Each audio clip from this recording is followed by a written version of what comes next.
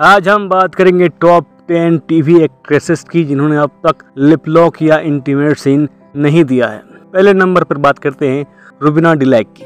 Rubina डिलैक TV की जानी मानी एक्ट्रेस हैं। उन्होंने खतरों के खिलाड़ी में पार्टिसिपेट किया बिग बॉस की विनर रहीं, छोटी बहू से उन्हें काफ़ी शोहरत मिली, लेकिन अब तक रुबिना डिलैक ने कोई भी इंटीमेट सीन नहीं दिया है। अब बात करते हैं नंबर दो की। नंबर दो में हमने रखा है रिधिमा पंडित को। Ridhima Pandit Bigg Boss OTT में दिखी थी। इसके अलावा खतरों के खिलाड़ी में भी उन्होंने पार्टिसिपेट किया था। और रिधिमा पंडित को शोहरत मिली थी बहू हमारी रजनीकांत से, लेकिन अब तक उन्होंने कोई भी इंटीमेशन नहीं दिया है। अब बात करते हैं नंबर तीन की। हमने नंबर तीन पर रखा है आलिशा पनवर को। आलिशा पनवर इश्क में मरजावा से काफ़ी पॉपुलर हुई थी और इन्होंने भी अब तक किसी भी बोल्ड कंटेंट में काम नहीं किया है। नंबर चार पर हमने रखा है अपर्णा दीक्षित को। अपर्णा दीक्षित काफ़ी पॉपुलर शोज़ में हमें दिखाई दी थी और बेपनाह प्यार में भी थी, कलश में भी थी, काफ़ी बड़े बड़े शोज़ में ये दिखी थी, महाभारत में भी थी, लेकिन अब तक अपर्णा दीक्षित ने इंटीमेट सीन नहीं दिया है।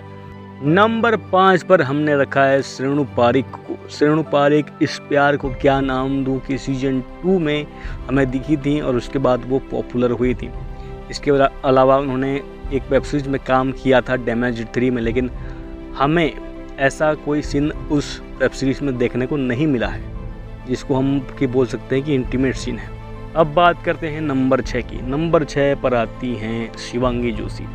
हमने रखा है शिवांगी जोशी को नंबर छः पर।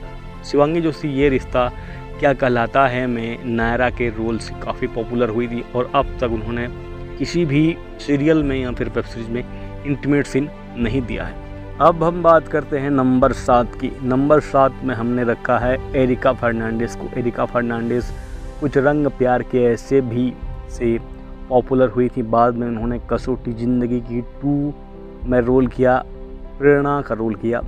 वहाँ से वो पॉपुलर हुई, लेकिन अब तक एरिका ने किसी भी वेब सीरीज़ में काम नहीं किया और ना ही अब तक उन्होंने कोई इंटीमेट सीन दिया है। अब हम बात करते हैं नंबर आठ की। नंबर आठ में हमने रखा है दीपिका सिंह को। दीपिका सिंह फ़ेमस हुई थी दिया और बाती हम नाम के सीरियल से। उनका रोल था संध्या बिंदड़ी का और काफ़ी पॉपुलर हुई थी। उसके बाद उन्होंने महाशिवरात्रि में काम किया और एक फ़िल्म में भी नज़र आई हैं, लेकिन अब तक दीपिका सिंह ने भी कोई इंटीमेट सीन नहीं दिया है। अब हम बात करते हैं नंबर नौ की। नंबर नौ में हमने रखा है सौम्या टंडन को, जो कि भाभी जी घर पर हैं। सीरियल में दिखी थी और वहाँ से काफ़ी पॉपुलर हुई।